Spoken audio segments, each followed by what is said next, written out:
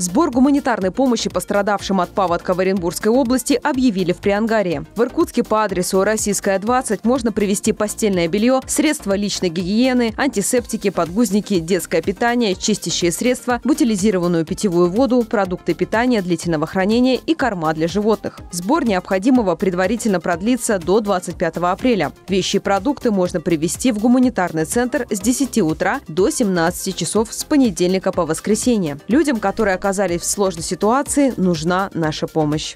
Объемы бывают в день самые разные. Бывает от одной посылки, а бывает привозятся прямо машинами, несколько машин в день. Это надо разобрать все, рассортировать, зарегистрировать, чтобы это все было, соответственно, и сложить на палеты аккуратно.